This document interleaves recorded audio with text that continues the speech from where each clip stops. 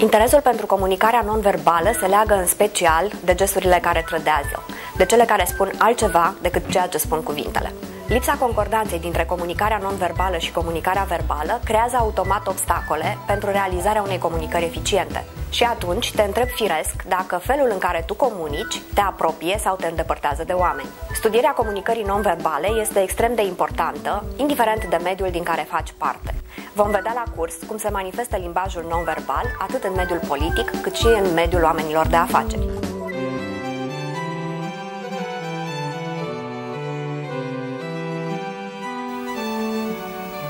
Pauză. Stop. De tot.